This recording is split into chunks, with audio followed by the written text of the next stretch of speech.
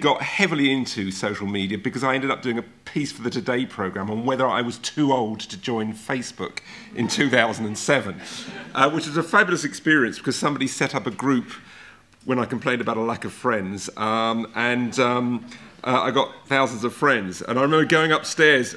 I also joined MySpace at the same time. I went upstairs and said to my son, who was then about 15, look, boy, look, I've got a friend on MySpace. And he said, Dad, that's Tom. He's everybody's friend on MySpace. um, I quickly, uh, though, decided uh, after a while that Twitter was going to be the more useful tool as a journalist. I've just had a quick look and found, though, my first tweets, just to show how much of a learning process this is. There is a service where you can find out your first tweets. Mine were in March 2007, pretty early adopter. Um, I, I'm tweeting, weather grey, hope it does not rain at Lord's where I am spending the day. A little later, dull but dry, a bit like Twitter. God, this guy's dull. And finally, a classic English day at Lord's. Collingwood has just got his century, and I am only slightly pissed. Um, what I quickly found uh, was that first Facebook and then Twitter became essential journalistic tools um, in three different ways, really. Um, I'm just looking at a tweet here uh, from 2008, quite early, May 2008. Just reported an earthquake in Beijing. Wonder how large it is. Off to check out the USGS site. That's by a, a, a tweeter and blogger called Robert Scoble, Scobleizer.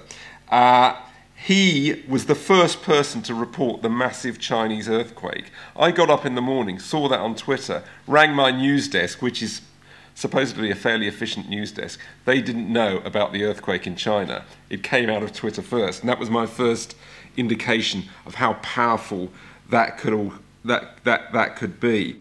One of the first stories I covered was, and I, I was there when Steve Jobs pulled out the first iPhone from his pocket, um, which uh, we were I was mocked for for holding it as somebody wrote in the paper as if it was a piece of the true cross. But um, I do think that was an extraordinary moment in, in technology, and everything that's happened since then has, kind of, has been transformational in all sorts of ways.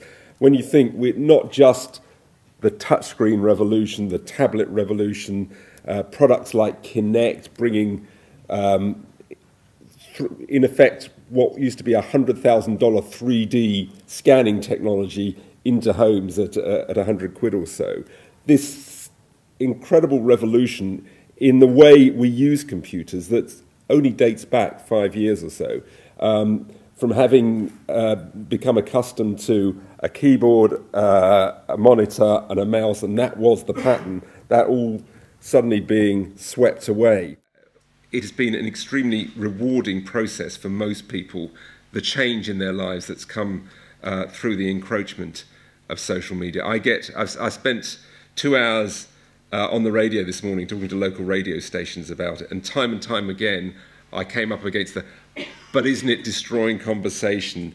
But isn't it unsafe? But isn't it, isn't it sad that, you know, we don't talk to each other anymore? That was said about, by the way, that's my timer telling me I've had my 10 minutes.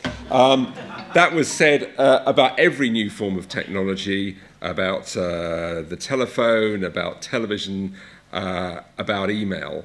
Um, we have to accept it's there, it's not going to go away. There are going to be more social networks. Um, and I think we've all got to learn our etiquette and how to use them well.